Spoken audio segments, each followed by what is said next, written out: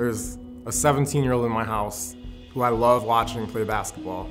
And because of the pandemic, I can't watch him play basketball. And whatever your similar thing is, there's all kinds of things that we've lost out on because of the pandemic. The vaccine and all of us getting the vaccine is what makes it so we can go back to those things that are priceless. There's so many things that we've lost that we can have back if we take the proper steps. The vaccine gives me hope that the economic and social costs that we've incurred because of the pandemic will go back to something more normal and hopefully something better with the vaccine. We can't stay isolated and stay in fear moving forward.